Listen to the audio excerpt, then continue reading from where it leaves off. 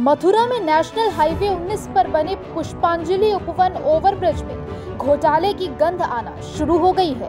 निर्माण के करीब दो साल बाद ही फ्लाईओवर में जगह जगह से दरारें पड़ने लगी हैं। फ्लाईओवर का प्लास्टर भी चढ़ रहा है।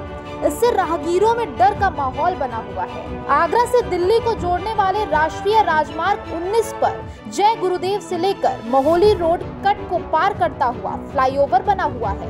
करीब दो साल पहले इस फ्लाईओवर का निर्माण मथुरा की सांसद हेमा मालिनी ने किया था।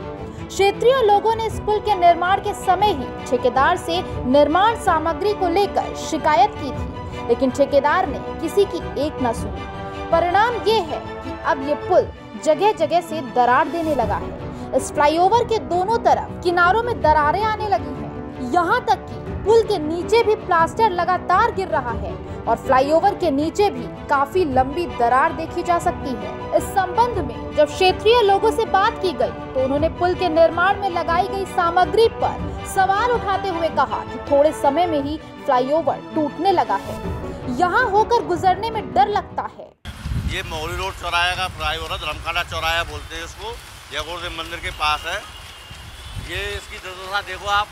अभी बनने इसको एक साल नहीं हुआ है, लगभग चालू हुए। और ये धसक गया है। इसमें ठेरा जब काम कर रहा था, जब उसे कहते थे, पर वो हमारी कोई सुनवाई नहीं हुई। नाले चौक पड़े हुए हैं और इसमें मट्टी भरी हुई है। तो मट्टी धसक गई है। तो ये ऊपर नीचे भी हो गया देखो। इस लेंटर को आप दिखाओगे। तो ये लेंटर जो है इसमें गैप हो गया है। ये धसक गया है? तो इससे कोई जन हानि बड़ी हो सकती है कभी भी। जब भारी वाहन चलते हैं, हाईवे है जो N H two, Agra, Delhi, main road है। तो यहाँ से जब बड़े वाहन निकलेंगे, भारी वाहन निकलेंगे तो कोई भी, कुछ भी हादसा हो सकता है। ये पुल गिर भी सकता है।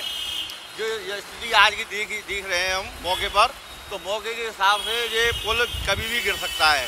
निर्माण के समय पर ठेकेदार जब काम करता था, हम उससे कहते थे कि मैं इसमें पानी डालो, मट्टी को मतलब इसमें वो चलाओ रोलर चलाओ तो बहुत जल्दी में हुआ ये काम। चुनावी पीरियड था शायद उस, उस टाइम पे तो जल्दबाजी में काम हुआ। संतोष।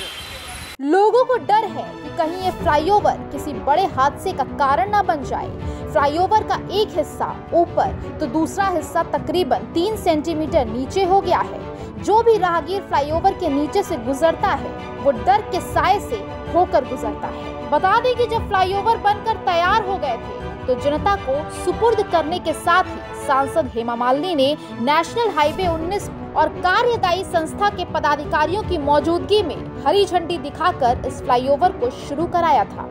फ्लाईओवर का सांसद हेमा मालिनी ने उद्घाटन किया था। उस फ्लाईओवर का प्लास्टर अब लोगों के लिए जी का जंजाल बन चुका है। फ्लाईओवर के ऊपर से गुजर रहे वाहनों की धमक से पुल के नीचे लगा हुआ प्लास्टर अब टुकड़ों में नीचे गिरने लगा है।